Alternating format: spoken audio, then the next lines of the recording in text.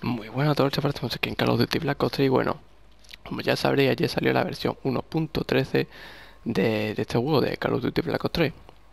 Bueno, lo que daba soporte, lo que traía ese DLC, ese DLC, perdón, esa actualización que daba soporte al nuevo DLC que ha salido hoy, que ya lo podéis comprar por cierto, cuesta 15 euros, bueno, 14,99 redondeando, 15 pavos. Y bueno, pues también han hecho cambios en el juego, ¿vale?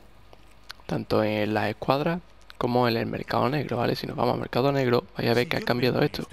Que ahora están por al lado, ¿vale? Tenemos que ir cambiando y tal, ¿vale?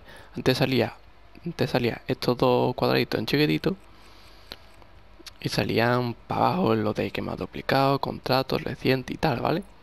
Lo pero que tenéis que hacer es, si queréis comprar .co tenéis que darle aquí, ¿vale? Se nos va a la tienda, ¿vale? Le damos aquí el que contrato y no pone los contratos. Le damos al reciente y no sale los recientes. Y si le damos duplicado no sale los duplicados.